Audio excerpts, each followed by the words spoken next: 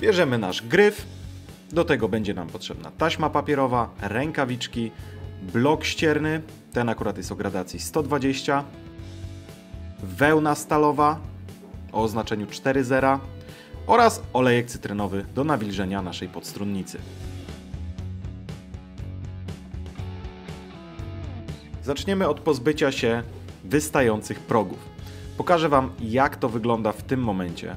Te progi w ogóle nie są obrobione, nie są zaokrąglone, są ostre i wystające.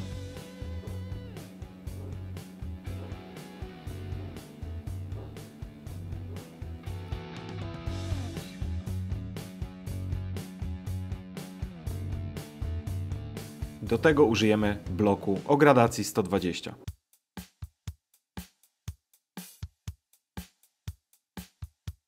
Przykładacie gąbkę pod kątem 45 stopni i trzecie wzdłuż progów. Dzięki temu zabiegowi również zaokrąglimy naszą podstrunnicę, co sprawi wrażenie jakby gitara była grana przez wiele lat i jest już po prostu wyrobiona i wygodna. Nawet po chwili możecie zobaczyć efekt zaokrąglenia końcówek progów.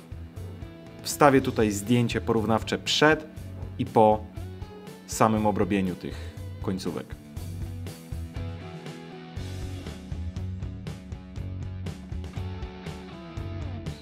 Nie spieszcie się, róbcie to delikatnie, cały czas sprawdzając postępy.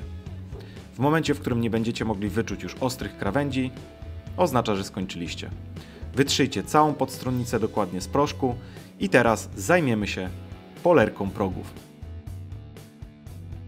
Musicie zakleić całą podstronnicę, tak aby jej nie zniszczyć. Oto efekt, który chcecie uzyskać. Wystaje nam jedynie próg z ponad taśmy. Cała reszta musi być zasłonięta. Dodatkowo nie róbcie tych kroków pokazanych na tym filmie, jeżeli macie klonową podstrunnicę. Ponieważ klonowe podstrunnice są pokryte lakierem i innymi warstwami ochronnymi, więc ta metoda nie zadziała na klonową podstrunnicę. I tak wygląda oklejony gryf.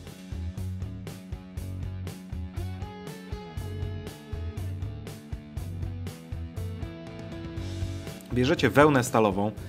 Taki kawałek wystarczy na obrobienie całego gryfu. Zaczynacie polerować przede wszystkim ruchami prostymi wzdłuż progu. Robicie tak dla każdego, a na koniec przejedziemy w poprzek progów. I nawet po chwili możecie zobaczyć różnicę pomiędzy pierwszym a drugim progiem. Pierwszy próg, wspaniałe, wypolerowane lustro. Powtórzcie ten proces dla wszystkich pozostałych progów. Jest to męczące, ale efekt jest naprawdę wart tego.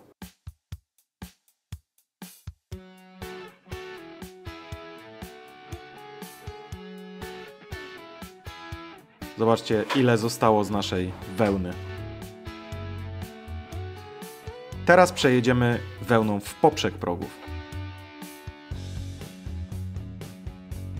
Pamiętajcie, żeby wyczyścić miejsce pracy, ponieważ są to opiłki metalowe i nie chcecie, żeby trafiły tam, gdzie nie powinny.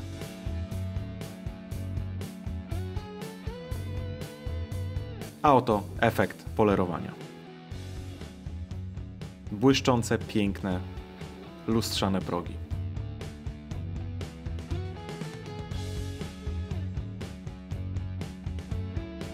Teraz zdejmujecie taśmę i przygotowujemy się do nawilżenia podstrunnicy.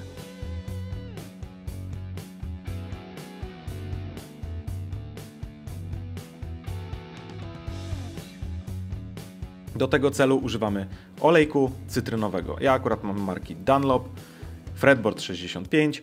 Taka butelka starczy Wam na całe życie. Mam ją około 3 lat i praktycznie w ogóle jej nie zużyłem. Nanosicie olejek na podstrunnicę pomiędzy progami.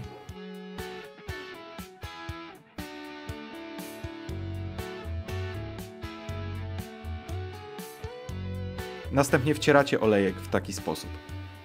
Nawilżcie porządnie całą podstrunnicę. Niech będzie naprawdę mokra, ponieważ jeżeli macie suchą podstrunnicę, to właściwie od razu wsiąknie. Zobaczcie, już w niektórych miejscach zrobiła się od razu sucha, to znaczy, że podstronnica zassała olejek cytrynowy. Zostawcie to na około 15 minut. Po 15 minutach możecie zobaczyć, że naprawdę powsiąkało to w naszą podstronnicę, czyli była dosyć sucha. Wszystko to, co pozostało, wytrzyjcie do sucha.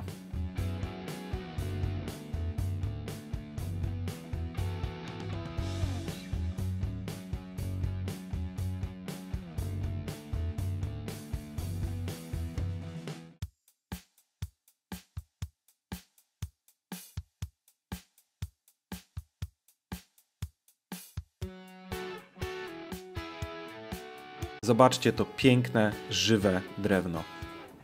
Konserwacja podstrunnicy jest niezwykle istotna, ponieważ nie dość, że przyjemniej gra się na takim instrumencie, to jeszcze drewno odzyskuje swoje walory dźwiękowe.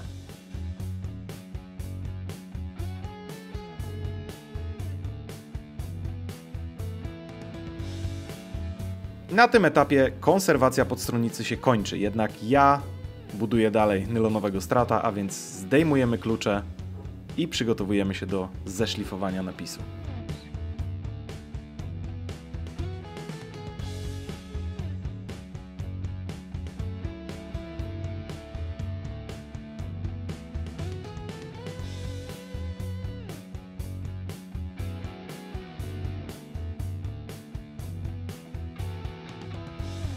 Nie zapominajmy również o drzewku dociskającym struny.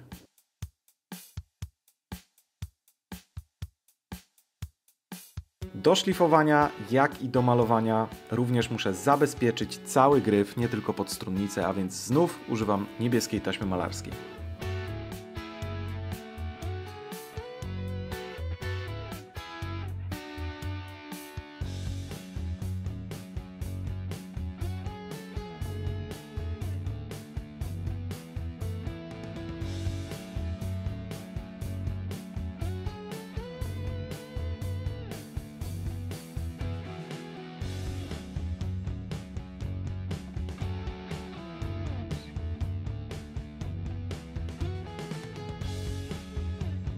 Jesteśmy gotowi do szlifowania. Będę używał papierów ściernych o różnej gradacji, zawijając je wokół tej gąbki ściernej. Zaczynam od 120 i szczerze mówiąc, ta praca poszła dużo szybciej niż myślałem. Spodziewałem się, że zajmie mi to naprawdę dużo czasu, natomiast napis wcale nie był jakoś głęboko pod lakierem.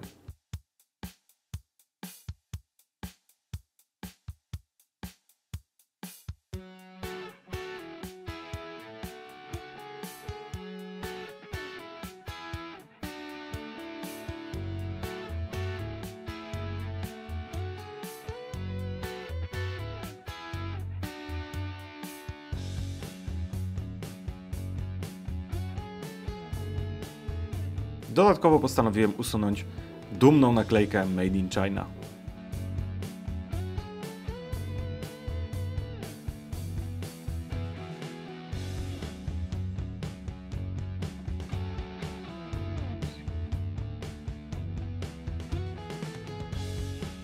Teraz czas na położenie lakieru. Pierwotnie chciałem zrobić czarne lustro, Natomiast skoro nie mam tutaj żadnego logo, uznałem, że będzie dosyć pusto, więc zdecydowałem się na taki zniszczony, zrelikowany wygląd. Można nawet powiedzieć, że trochę przypalony i poobdzierany na krawędziach.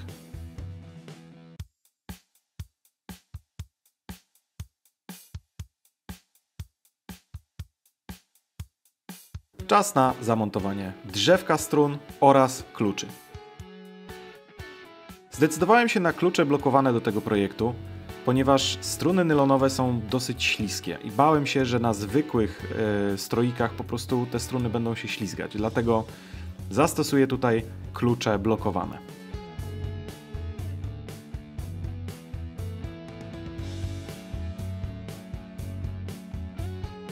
Mam nadzieję, że poprawi to stabilność stroju przy tych strunach które de facto nie są zaprojektowane do użytku w gitarze elektrycznej.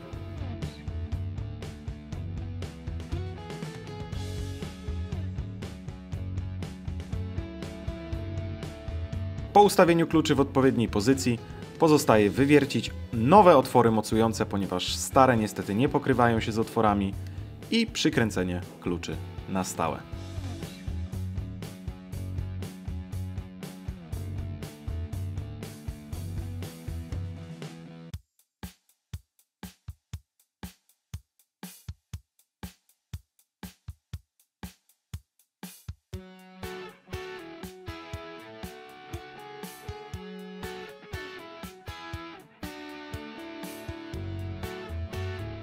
Na koniec możemy dokręcić klucze i całość jest zakończona. I na tym kończymy część drugą. W następnej części złożymy wszystko do kupy i sprawdzimy, jak brzmi. Jeżeli cokolwiek z tego filmu wydało Ci się przydatne, daj łapkę w górę, dzięki temu mogę trafić do większej liczby osób i powiększyć swoje zasięgi.